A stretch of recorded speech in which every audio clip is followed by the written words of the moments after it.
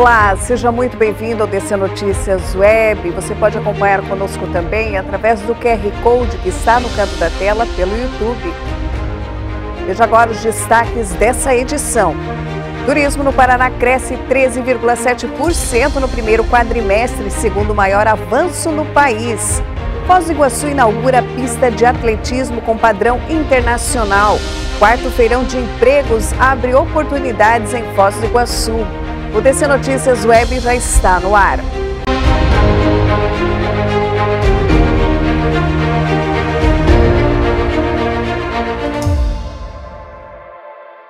Olá, Foz do Iguaçu ganha uma pista de atletismo com padrão internacional. A inauguração das obras foi realizada pela Prefeitura e Itaipu Nacional.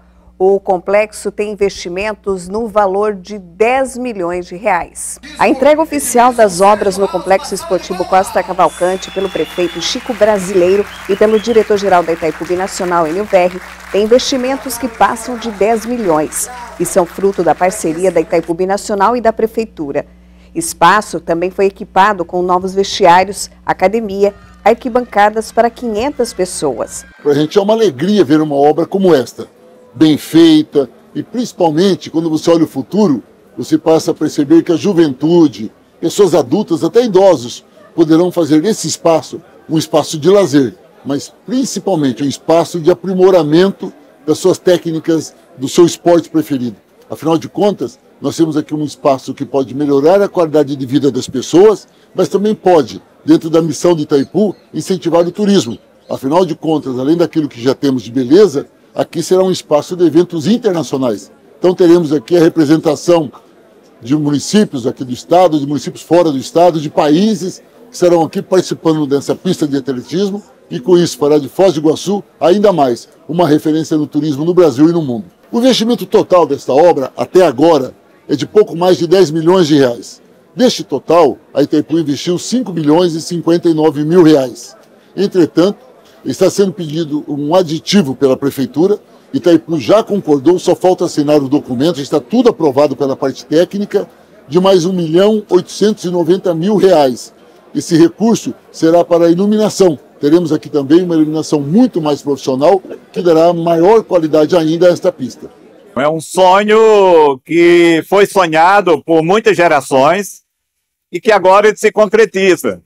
E eu tenho certeza que se Foz do Iguaçu já chegou muito longe, em competições até de nível internacional, numa condição de pista que não era das melhores, com essa pista aqui, pode esperar atletas de Foz do Iguaçu nas Olimpíadas, pode esperar competições de nível mundial, porque Foz do Iguaçu tem muita gente boa no atletismo e essa pista vai fomentar cada vez mais essa, esse esporte. Durante a cerimônia, o diretor-geral da Itaipu também anunciou a assinatura de um aditivo ao convênio de mais de 1 milhão e 800 mil reais para a iluminação da pista e mais 1 milhão e 300 mil reais que serão investidos pelo governo do Paraná na reforma da piscina.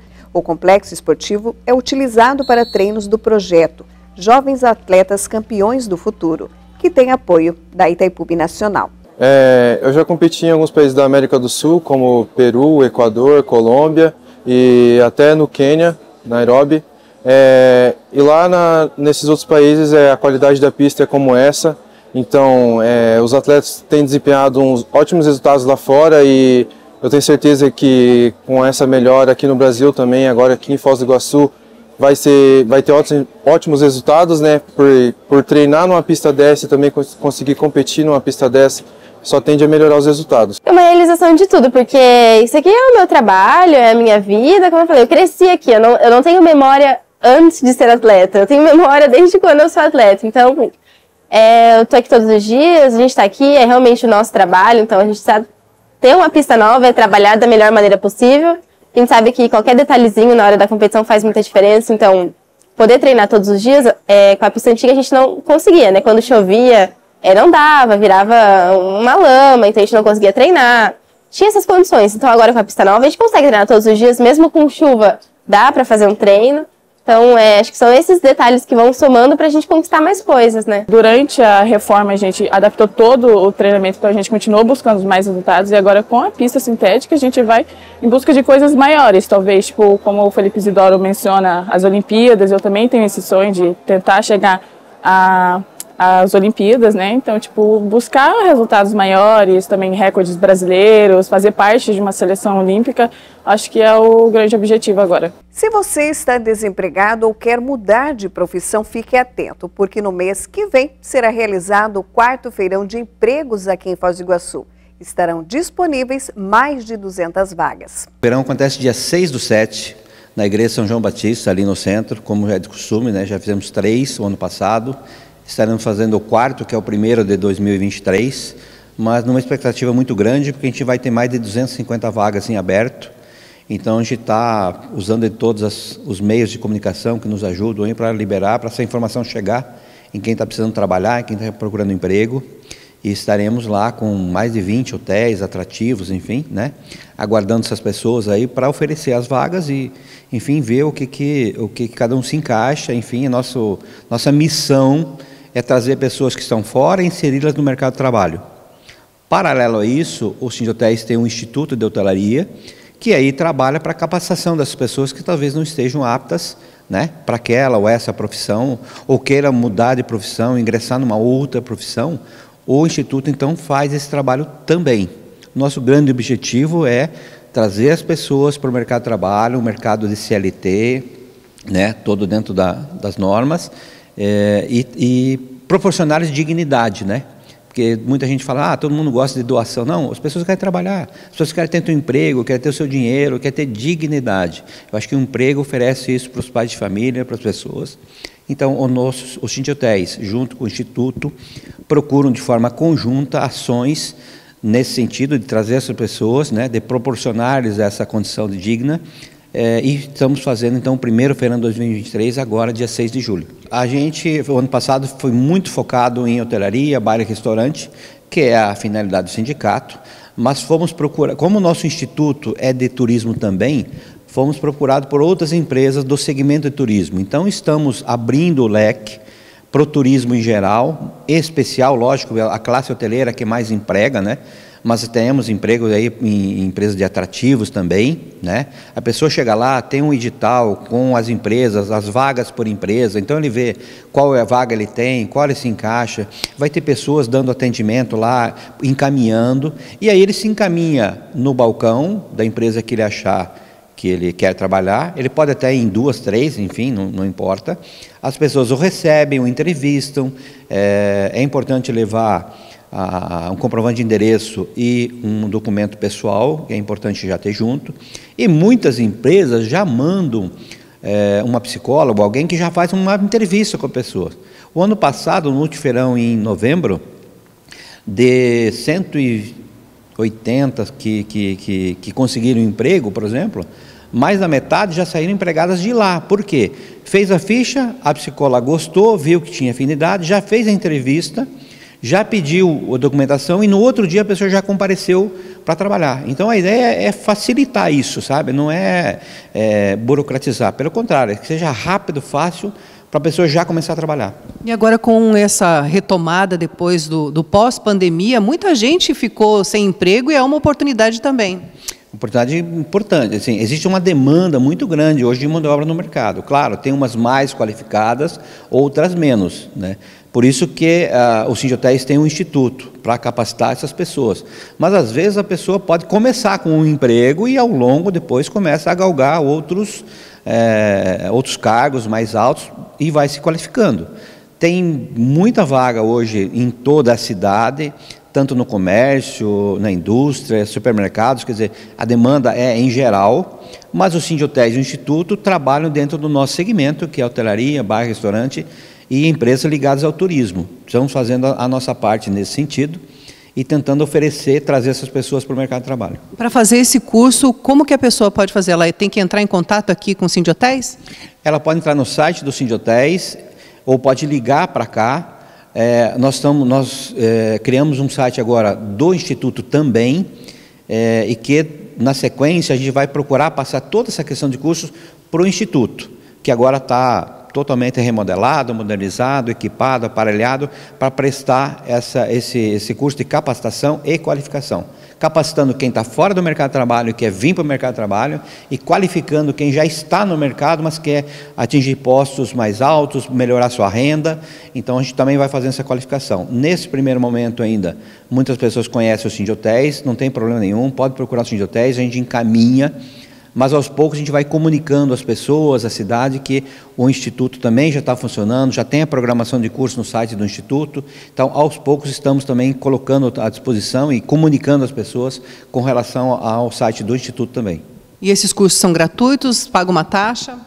Os cursos, a, a gente procura sempre oferecer cursos gratuitos. Evidentemente, tem alguns cursos que eu preciso trazer professores de fora é, e tal, e aí precisa ser cobrado uma taxa. Aí quem é associado ao Sindotéis é uma taxa pequena e quem não é associado um pouco mais, né? Mas assim, são valores ínfimos. Às vezes tem curso aí que o cara paga 30 reais para fazer um curso, ou 60 reais. Então é uma taxa quase que ínfima para poder fazer o curso. Mas 90% dos cursos que nós fazemos aqui, a gente procura fazer gratuitamente. Então vamos fazer o convite então para o feirão de empregos. Sim, convido a todos aí que estão nos assistindo. O Feirão de Empregos é dia 6 do 7, das 8 às 16 horas, na Igreja São João Batista, no salão do restaurante.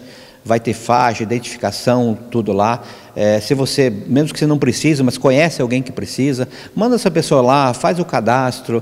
É, quem sabe você sai empregado de lá. É, a missão do Instituto é essa, é trazer pessoas para isso. O Sindhotéis também trabalha para Claro, nós estamos ajudando o segmento, a classe, a ter o seu quadro de, de, colaboradores né, dentro daquilo que precisa para atender bem o hóspede, atender bem o turista, dar um atendimento de qualidade. Para isso, precisamos ter o quadro completo e também a qualificação das pessoas. Então, aguardamos vocês, estamos lá à disposição com mais de 20 empresas, aguardando sua visita. E veja a seguir, turismo no estado aponta crescimento do setor.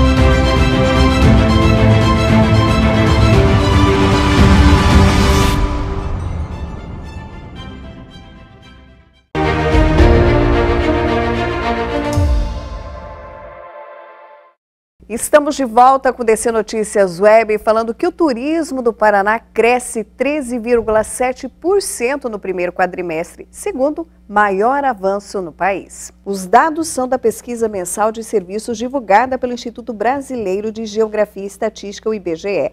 Na variação acumulada em 12 meses, num recorde mais ampliado, o aumento foi de 19,9% no Paraná. Os bons resultados no estado foram motivados por uma série de fatores. As cataratas do Iguaçu estão nesse contexto. Bateram recorde de visitação em abril, recebendo cerca de 150 mil turistas.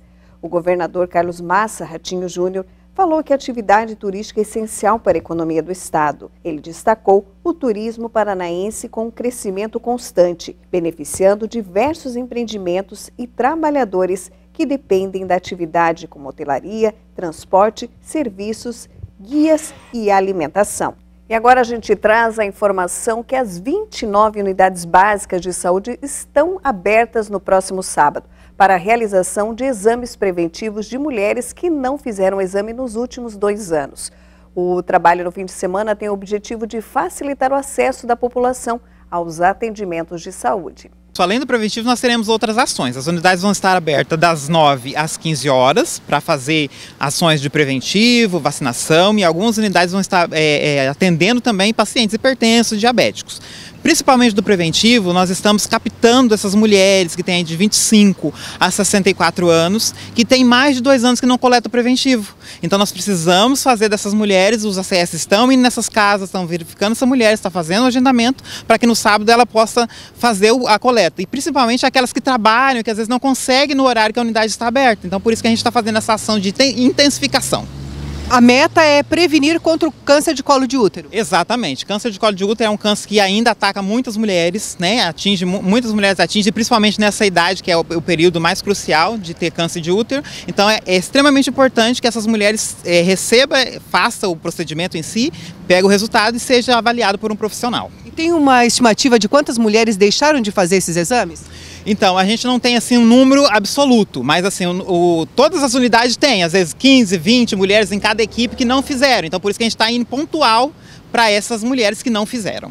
E quais os postos de saúde que vão fazer esse atendimento para os hipertensos e diabéticos? Então, de acordo com a região, então de cabeça eu não tenho agora para te dizer a ah, unidade A ou unidade C, é unidade B ou C, mas assim, a, a, equipe já está ciente, as, as, pessoas já estão cientes que naquela unidade, quando a, a, o ACS passa na casa para agendar o do preventivo, ele já fala, ó, vai ter essa ação também do, da questão do hipertenso diabético. Vacinação para todos. E o hipertenso vai ser feito que tipo de trabalho? Atendimento, né, consulta médica, consulta de enfermagem também, renovação de receita, pedido de exame e o atendimento normal. Em todos os pacientes que chegarem na unidade vai ser feita a atualização do cadastro dele, que é extremamente importante para a gente, né? Então todos que forem vai atualizar cadastro também.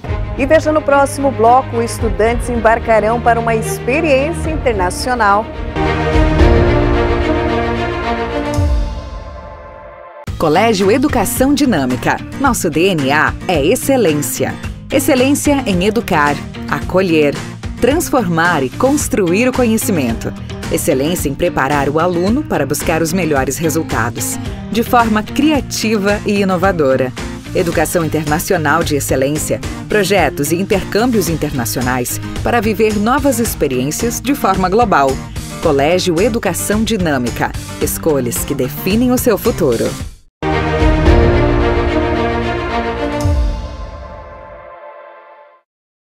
Nesse fim de semana, a Associação de Esposas de Rotarianos prepara um grande bingo em Foz do Iguaçu. O evento será realizado na Casa da Amizade. Nós teremos um bingo beneficente em parceria com dois clubes, o Rotary Boici Cataratas e o Rotary Costa Oeste. Será no dia 17 agora de junho, a partir das 14h30. Em que local? No na nossa sede, na Avenida Brasil, 1956, na Casa da Amizade. E todo o dinheiro que for arrecadado vai ser investido no quê? Será revertido em prol das uh, associações e uh, comunitárias que os clubes participam. E como que as pessoas podem comprar? Elas só chegam lá e já compram a cartela ou tem que comprar com antecedência? Nós já estamos vendendo cartelas e também teremos disponibilidade no horário, no mesmo local. E qual é o valor? R$ 35,00 com direito a três cartelas. E quais os prêmios que vão ser aí disponibilizados? Então, os prêmios sempre são surpresa, porque cada clube fica responsável por uma parcela de brindes. Então, a gente ainda não tem a, a certeza dos brindes. Porém, sempre são brindes muito bons. Então faz o convite. Estamos convidando a você que está nos assistindo para que venha nos prestigiar no dia 17 agora de junho, a partir das 14h30, na Casa da Amizade para mais um bingo solidário. A presidente do Grupo Dinâmica, professora Rosicler Rawad do Prado, recebeu pais e estudantes para falar de uma experiência internacional em que os alunos embarcarão em julho. Alunos dos colégios Anglo-Americano Brasil e Paraguai, CAESP, CAESP Internacional de Medianeira, Educação Dinâmica e Monjolo participaram na quarta-feira da última reunião antes da importante viagem de intercâmbio para Londres. Os estudantes partem de Foz do Iguaçu e vão ficar três semanas aprendendo e aprofundando ainda mais o seu conhecimento na língua inglesa, com uma estrutura totalmente planejada para proporcionar uma experiência inovadora aos acadêmicos. Então nós estamos aqui no evento para preparar os alunos uh, dos colégios Dinâmica, Monjolo, CAESP, Anglo, para uma experiência internacional na Inglaterra. Né? Então os alunos eles vão participar de um programa com alunos do mundo inteiro na University of East London, que é uma universidade super moderna, referência na Inglaterra, que vai receber os alunos para um programa de três semanas agora em julho. A UDC prepara os alunos uh, desde uh, o início, né, desde novinhos até o ensino médio, com programas de internacionalização. E esse é na prática. É colocar o aluno efetivamente num programa de intercâmbio real, uh, num lugar incrível, seguro, multicultural e, e que os alunos vão ter que a utilizar as habilidades de idioma e desenvolver autonomia também. Primeiro é praticar o idioma, né? é importante que eles pratiquem o que eles estudam né? e é um momento de imersão. Segundo é conhecer lugares incríveis. Então esse programa ele tem uh, um, uma série de atividades culturais, uh, excursões por toda a Inglaterra. Uh, dentro do programa. Eles vão conhecer a cultura londrina, eles estarão em Londres, morando em Londres durante um período e vão conhecer gente do mundo inteiro. Porque esse é um programa que terá muitos alemães, espanhóis, italianos, turcos no mesmo campus participando do programa. Nós acreditamos que vai ser uma experiência única para as crianças. É, e esses, esses dias que nós passaremos lá, acho que serão de grande valia para o futuro, porque é muita coisa que eles vão experimentar pela primeira vez, muita experiência, muitos passeios e o inglês que vai ser uma imersão total, né? 16 jovens que eu conheço a maioria e eu acredito que eles têm a postura de se comportar fora nessa viagem. É, nós temos uma amizade muito gostosa e eu acho que isso é o que vale, é o, é o, é o respeitar não só a mim, mas como a própria cultura de lá que eles vão aprender, né? Então acho que a parceria vai dar certo. Tância é de aprender lá fora as coisas são diferentes. O aprender que não vai ter os pais do lado para ter que ajudar, por exemplo, na hora de uma compra, na hora de usar um cartão de crédito ou até propriamente se falando no campus da universidade, onde eles vão ter que lavar a própria roupa, é, acordar sozinho, é, entender que eles têm que dormir tal horário para poder acordar e, e, e vingar no próximo dia. E quando eles voltarem, eu acho que essa bagagem toda de crescimento vai ser demais. Essa experiência de três semanas vão engrandecê-los quase que um ano de experiência com o inglês, você pode ter certeza. Eles vão voltar bem afiados no inglês. Os pais falaram um pouco sobre o sentimento de estar cada vez mais próxima à viagem dos filhos e da importância de experiências como essa. Estou ansiosa, ansiosa, preocupada, porque, né, ver se vai se comportar, puxar a orelha, mas eu acho que vai ser bem legal. A Lívia é uma menina bacana e o grupo é muito bom. O curso é muito bom que elas fazem, a gente está bem satisfeito com o inglês dela já. Acho que vai voltar falando tudo. Ah, é aquela, aquela, aquela coisa, né? A gente não conseguiu ter lá atrás e hoje é muito legal ver a nossa filha tendo isso que a gente quis tanto, almejou tanto lá atrás e saber que ela já é trilingue praticamente por causa do inglês, do espanhol. É muito legal tranquilíssima, super confiante, feliz. Eu acho que vai ser um momento único para ela, é, para estudar a língua, para conhecer outros países, conhecer outras pessoas, que, que também tem tantas outras pessoas que vão de outras, de outras culturas. Eu acho que eu tô com o coração em paz, porque eu sei que ela vai ser muito bem cuidada e vai ser um aprendizado para a vida inteira. E estou tranquila. Qual é a importância de você conseguir proporcionar isso para o seu filho? Nossa, educação. Educação é tudo e eu acho que eu estou feliz. Ela sabe o quanto que a gente luta por ela. Acho que a gente faz tudo pelos filhos, né? E o meu coração está tranquilo. E ela sabe que tudo que a gente faz é por ela, para o bem dela e para o futuro dela. Os estudantes falaram também sobre a ansiedade e do que esperam do importante intercâmbio que irá trazer uma cultura diferente do que estão acostumados. A expectativa está muito alta, a gente vai com muitos amigos, a expectativa é aprender muito, fazer muitas amizades, conhecer partes do mundo que a gente nem imagina. Com certeza vai trazer, vai trazer muito conhecimento, vai, acho que vai arrumar, ajudar muito nosso currículo, nossa experiência de vida acima de tudo, né? Muito ansioso, muito nervosa. Eu espero me divertir muito nesse intercâmbio. É, meus amigos vão estar lá. É uma experiência única. Eu sou muito grata por ter essa experiência e muito ansiosa e feliz. Eu acho que é capaz de eu ir lá e querer ficar lá para fazer alguma faculdade, algum tipo. É, essa é a minha sensação sobre isso. Essa é a minha sensação. Que bacana, né? E assim a gente encerra mais essa edição do DC Notícias Web, agradecendo a sua participação e a sua companhia. Continue conosco também em nossas redes sociais oficiais. Até amanhã.